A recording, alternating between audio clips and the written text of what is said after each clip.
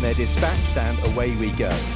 Permian out in front has the lead from Cracksman, who's edging closer as the line comes. Herbie and Cracksman throwing one final thrust and close. Highland Reel finding from Horville, but here's Frontiersman all over the shop, still running on within two lengths of Highland Reel, but can't get there. And Highland Reel for another Group 1 win.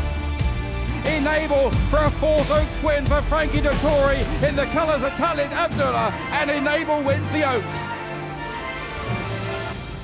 It's still Caspian Prince inside the final furlong. A moment of madness. Duke of Firenze is gaining. So too Dark Shot from the rear. But Caspian Prince has won again. And here comes Cliffs of Moher down the wide outside under Ryan Moore. And he goes on.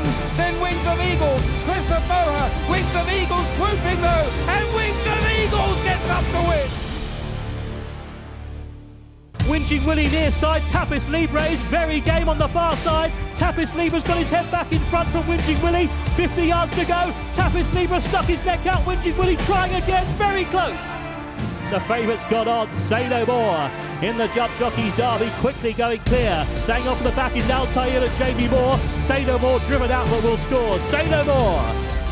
It's move over from DXB, then the Revenant. Here comes the winning line. Move over still with the lead. DXB late. DXB has claimed the wildcard entry to the Derby.